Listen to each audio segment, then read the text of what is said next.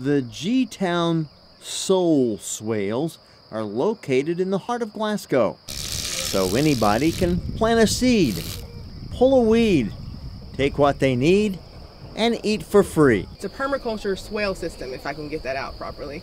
So it uh, we we dug trenches in the ground and flipped it up in order to allow water to permeate the the mounds, so that there's no water source.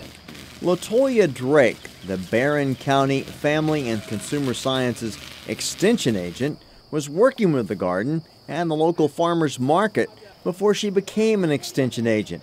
This is um, darker. So then she met Andrea Stith, Barren County's horticulture extension agent, and the two teamed up. And then once she became an extension agent, we full on tried to work together and partner and, and make this more of a community effort and get everybody involved and get the extension office involved as well. But uh, then there are also some like little plants. Youth from local churches were involved this day from the Love Loud organization, shoveling and loading soil into a wheelbarrow for dumping on the swale mounds, and then putting vegetable plants in the soil.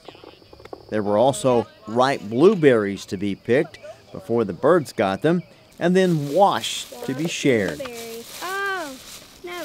Maybe Sister and little brother Grace and Paul Lowe have been volunteering at the garden for some time because they want to help others. It's a really great idea. Uh, Glasgow has a large population of people who are food, food insecure, and this is a good way for them to be able to get healthy foods for cheap because we know people who are food insecure tend to buy uh, not healthy food because it's cheaper. It's really fun to dig in the dirt. Mm-hmm. And then you also have to work a little, and it's fun to help people in need. This old school building here in Glasgow is now the Ralph Bunche Community Center and also is a soup kitchen. And in back is where the kids are working in the garden. This garden sits on a historical building in Glasgow, Kentucky. It's the Ralph Bunche Center. Uh, which was uh, a segregated school at one time that turned into a preschool center and is now a soup kitchen. So we really are excited to have a place that has food for everybody. Latoya Drake says she's excited about being an extension agent so she can show people in need how to use the food from the garden and the abundance of fresh produce that is plentiful in the farming community of Glasgow. From the University of Kentucky College of Agriculture, Food and Environment, I'm Jeff Franklin reporting.